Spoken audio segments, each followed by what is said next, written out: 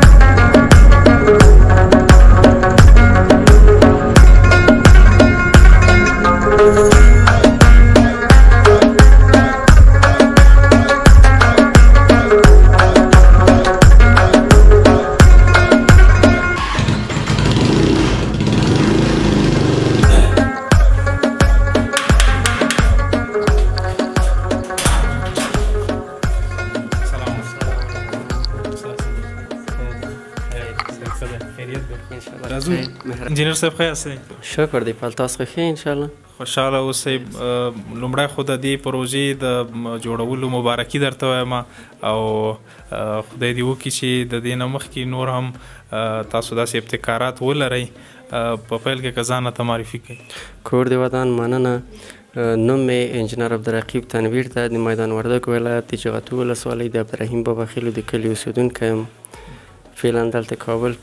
کې ژوند کوم. انجنیر صاحب د دې پروژې په حق له بدرنا ورو دا راتوي چې په په څومره موده کې دا پروژه تکمیل کړي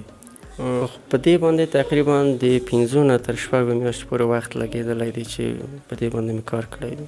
ښه بل څوک په دې برخه کې در سره همکار ول؟ فعلا نه تقریبا ما تنها کار کولو ځکه د دې کار به د ورځې لا تو بجو تر څلورو بجو باندې ما تدریس کولو د کانکور آمادګي مې تدریسوله له څلورو بجو وروسته ماښام یا د شپې له خوا ان تر یولسو دولسو حتی تر یوه دوو بجو پورې به ما په دې باندې کار کولو افغان اټم نوم ورکړی دوی ته وو دا مې تقریبا خپل د افغان نوم ورکړی ده چې افغانستان عبدالرقیب تنویر نه ویشت نه ویشت کلن داسې یو نوم مې ورکړی ده نو د دې مشخصاتو په اړه را سره وغږیږي انجینر صاحب نو مې فکر وکړ چې زه باید شروع د یو داسې څه نه وکړم چې د هغې هم د پرزو پیدا کېدل دلته وي او هم په اسانه شکل باندې په ساده شکل باندې جوړ شي نو په همدې اساس مې په دې کې د لومړي ځل لپاره چې دا مې لومړی لاسته راوړنه یا لومړی کار وي یو ساده ماشین کار کړی ده چې تقریبا تقریبا څلور څلور نیم الا 15 اسپاوره دی نو په دې شکل سره مې جوړه کړې ده ښه دغه کوم ماشين چې تاسو په دې کې کارولی دی د په دې باندې څومره مصرف شوی خو دا ماشين خو تنها په ماشين باندې تر دیر شو دوه د زر افغانۍ پورې مصرف تاسو راغلی دی او په مکمله پروژه باندې مکمله تقریبا یو لک دیر شو تر یو نیم لک داس مصرف باندې راغلی افغانۍ افغانۍ څرخکه اوس تر کومه حد د دینه استفاده کولای شو دا چې دا زما لپاره لومړی کار و او لومړی تجربه مې وه، نو په داسې وخت کې مختلف دلیلونه وو چې په دې کې ما ډېرې ضعیفې پرزې او یا هم ضعیف ماشین کار کړی دی چې یو د هغې له ډلې نه همدغه و چې یو ځل یو خو زما لومړی کار و، لومړی کار سړی په ډېر ابتدايي شیانو باندې شروع کوي، بعضې نور دلیلونه لکه بعضې امکانات نشتون یا د مالي برخې نشتون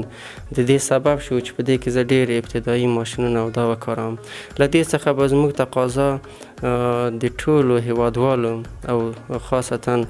زما خپله هم همدغه وي چې موږ ته کوم امید چې له دې نه لرو چې باید زموږ کار کامیاب کړي ان شاء الله په همغه اندازه باندې کار یې کړی هم ده زما یې قناعت حاصل کړی ده ما غوښتل چې کومه پروژه چې د دې لپاره زه په نظر کې لرم د هغې ټول امکانات په دې کې وي ان شاء الله کړی دا او د ملت لپاره د هیوادوالو لپاره دا دی چې ان شاء الله که چیرته د دې ظرفیت د دې ماشين زیات شي او یا هم د نور څه ظرفیت زیات شي دا به ورتیا ولري خدای کول چې دا به اسمان طرف ته جګیږي او د کابل په خپل فضا په ټول وطن باندې هیواد باندې بچرخي ان شاء الله ان شاء الله دا ارمان به پوره کیږي او تر دې به زموږ سر سر ارمانونه پوره کیږي د دې سرخه کې وزن څومره دی انجنیر د دې وزن تقریبا تر یو سل او پنځه ویشتو کیلو پورې رسیږي زما له اول نه همدغه امید و او همدا هیله لرم چې خدای خو دې وکړي چې یو ورځ راشي چې د دنیا لوی ترین ریکارډ هغه هم په خپل نوم کو ځکه په دنیا کې کم ترینه هلیکوپټر یو سل شپږ دیرش کیلو ده چې جوړه شوې ده نو زه به کوشش کوم چې تر یو سل شپږ دیرش هم ونه رسیږي همدغه یو نفره تر اوسه یې وزن یو سل پنځه ویشت کیلو ته رسیدلی ده او وروسته داسې کارونه پکې پاتې نه دي چې د دې په وزن باندې زیات تاثیر وکړي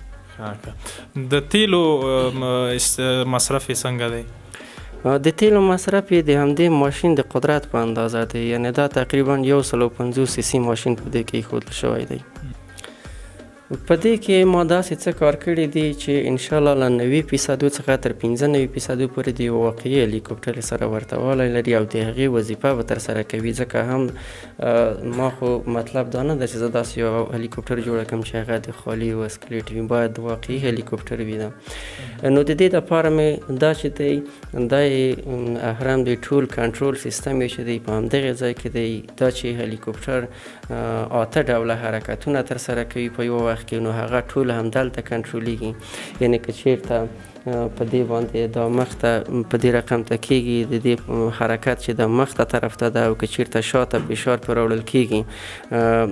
فکر وکړئ چې دا د مخ کې تګ نه جلوګري کوي ځای په ځای دا یا درېږي یا ورو کېږي په دغه رقم ته د واقعي هلیکوپترو چې د هغه ته سایکل ویل کېږي دلته ریز ورکول کېږي دا چې ما په دې کې د موټر سایکل انجن کار کړی دی د دې لپاره چې زما راتلونکو کارونو ته اسانتیا راولي په دغه ځای باندې ما کار کړی دی فعلا دا دی هلته د ګیر په اچولو کې له موږ سره اسانتیاوې راولي چې ګیر ته یې واچوو او ریز سایکل دلته وي ما سایکل یا ریز یې په دغه ځای کې کار کړی دی په دې سره چې کله داسې تاوو دلته ریز ورکوو په همغه اندازه باندې د څرخونو سرعت زیاتیږي او دا یې هم دا سوچ ده چې موږ سل په باندې وهو او ګیرونه یې په دغه ځای کې بدلیږي مثلا چې د رقم ته کو اوس ګیر بدل شولو او که په دغه رقم ته کو موږ الته ګیر هغه کوي بیرته لګیر راووتلو او دا هم څرخ ده چې په دغه ځای کې د واقعي هلیکوپټرو چې د سواش پلیټ ده یو خوش خبري به ان شاء الله دغه وی که الله پاک غوښتي ما د دې لپاره په خپل لاس باندې یو پورزه طرحه کړې ده چی ان شاء الله هغه به که خدای پاک وکړي وکامیابیږي به هم نور تر سواش پلیټ نه به هم ارزانه تمامیږي او هم به داسې وپرزوي چې په نړۍ کې تر اوسه د هغې نه استفاده نه ده شوې هغه بعضې څلور ساچمې دي یو بول برینګ ده چې په هغې کې حرکت کوي همداسې به دوی ته حرکت هم ورکوي او بل هم هغه د شا څرخ دی چې هغه د هلیکوپټر په تاویدو کې دایروي حرکت کې مرسته کوي ورسره خدای دې وکړي چې په دې کې موږ د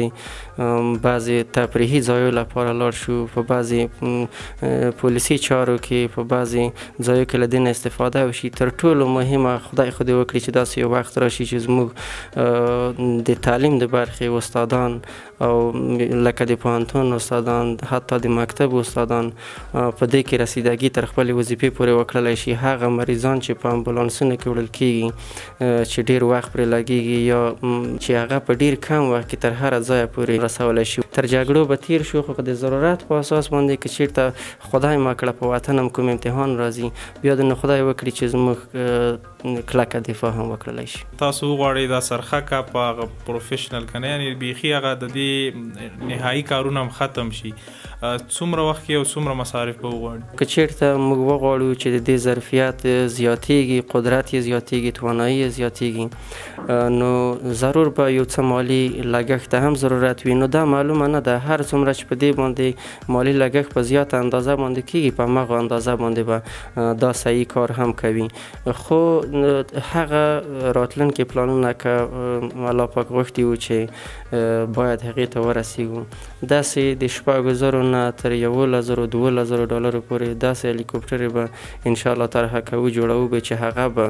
په يو وخت کې د درېيو نفرو د پورته کولو او ورسره د پنځو شپېتو کيلوګرام وزن د پورته کولو توانايي بدون له دې نه چې کوم مشکل پيدا کړي په اسانۍ سره يې پورته کړلی شي داسې مصرف پرې راځي. نو واقعا لوی ابتکار دی په دوولس زره ډالرو باندې داسې یوه څرخکه چې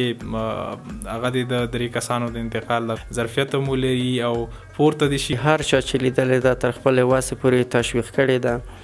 او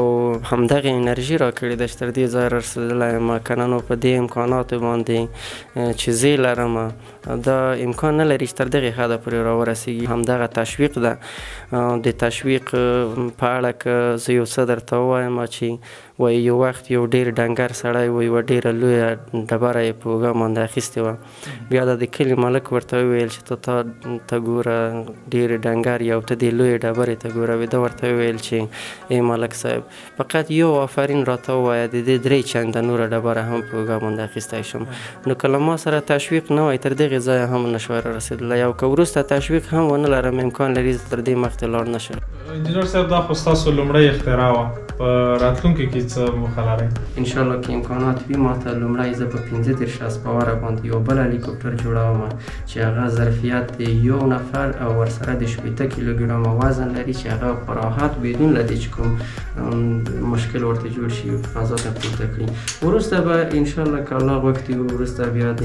250 اسپارو په قدرت سره یو بل هلیکوپټر ده انجنیر صاحب د د ښوونځي په دوره کې په درسونو کې څنګه ډیر فکر هم د دې ابتکارات ته او که درسونو ته متوجه وي په 1991 کال کې هم دلته د کابل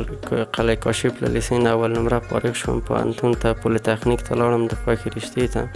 هغه چې کله خلاص شو وروسته مې د ماسترۍ برنامه امتحان ورکړلو چې کامیاب شولم اوس مهال د ماسترۍ د لومړي ټولګي د دوهم سمستر محصل هم یم انجینر عبدالرقیب تنویر په نامه باندې کورس هم لرم شپږ کاله وتل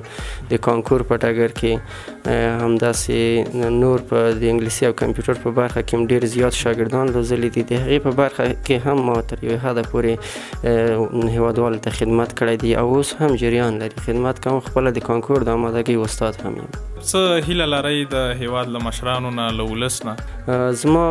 د نشته امکاناتو له کبله همدغه څه په وس کې وو هغه کار چې باید دستګاه کړی وای هغه ما په لاس باندې کړی دی هغه څه چې ما جوړ کړي دي هغه پیشکش او پلاس چې زما په لاس کې دي که واقعیت ویل شي هغه هم د همسایه دي نو په داسې نشته امکاناتو مې جوړ کړي دي د دې هر څه ترڅنګ که چیرته زموږ مشران